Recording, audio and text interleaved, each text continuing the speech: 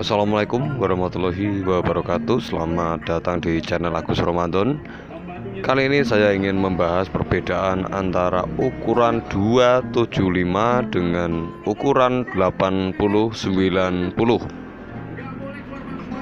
Nah di sini saya ingin menitik beratkan bahwa ukuran 275 dipandang sama hanya dipakai untuk pemakaian ukuran ban dalam. Namun setelah saya eh, lihat secara detail bahwa ukuran 275 untuk ban luar eh, dan 28090 ternyata memiliki perbedaan. Perbedaan pertama yaitu ukuran 275 memakai ukuran atau standar ukuran imperial atau memakai ukuran inci sedangkan 8090 memakai standar metrik atau ukuran milimeter. Sebelum beranjak ke perbedaan selanjutnya, saya ingin e, memberi gambaran tentang ukuran inci atau imperial, yaitu ada pembagian untuk satu incinya ada pembagian seperempat inci, setengah inci, tiga per empat inci, dan satu inci. Jadi kenapa ada ukuran 2,75? Jadi 0,75 di sini merupakan 3 per 4 inci nah ini merupakan seperempat inci kemudian setengah inci. Dan 3 per 4 inci. Jadi itulah kenapa uh, ukuran imperial ada ukuran 2,75 250 dan 2 25 nah seperti itu jadi kira-kira. Kemudian perbedaan yang kedua. Perbedaan yaitu uh, ukuran imperial memiliki tinggi dan lebar tapak yang sama atau rasio tinggi 100% jadi sama antara lebar tapak dengan tinggi ban.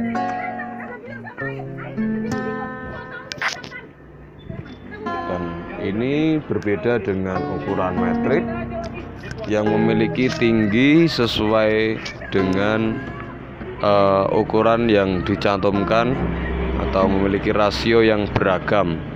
Ada yang rasio 90% 100% 80% jadi uh, maka dari itu untuk ukuran imperial atau inci hanya ada atau hanya tertera 275 saja tanpa ada embel-embel sedangkan untuk ukuran metrik memakai ukuran 80 per 90 jadi memiliki lebar dan tinggi yang berbeda sesuai dengan rasio.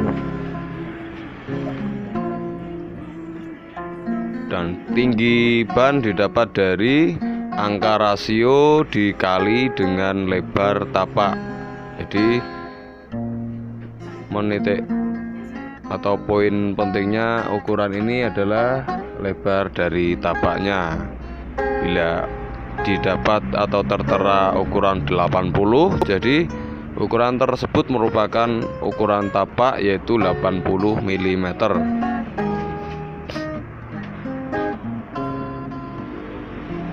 nah ini 80 jadi ini lebar tapak sedangkan 90 merupakan rasio dari lebar tapak untuk menemukan tinggi ban luar.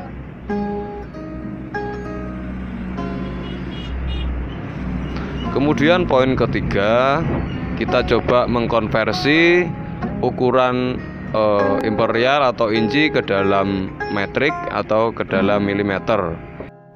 Kita kasih titik koordinat di angka 275 di sini. Jadi bisa ditarik ke dalam ukuran milimeter dengan 69,5 mm sedangkan lebar dari ban metrik untuk ukuran 80 90 tentu kita sudah pasti atau kita sudah tahu bahwa ini merupakan 80 mm kemudian karena tinggi ban merupakan rasionya 100% jadi tinggi ban sama sama dengan 275 atau sama dengan 69,5 mm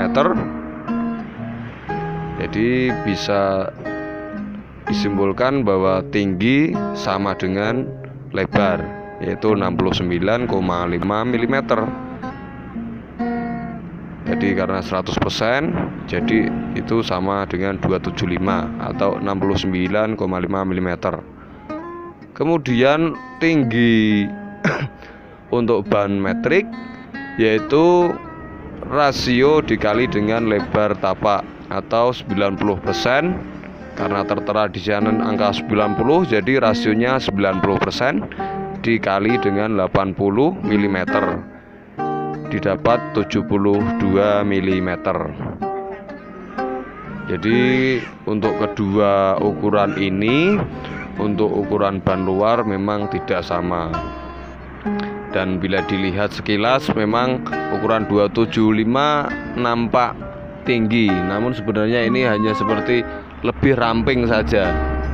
Sedangkan untuk tingginya tetap uh, justru malah lebih tinggi untuk ukuran ban metrik atau 80-90 jadi kesimpulannya untuk e, lebar tapak 80-90 lebih lebar selisih 1 atau 10 mm sedangkan untuk e, tinggi ban hanya selisih e, 3 mm terima kasih buat yang sudah menonton salam dari saya Agus Romandon konten kreator dari Gerobokan yang saat ini buka tambal ban di Salatiga.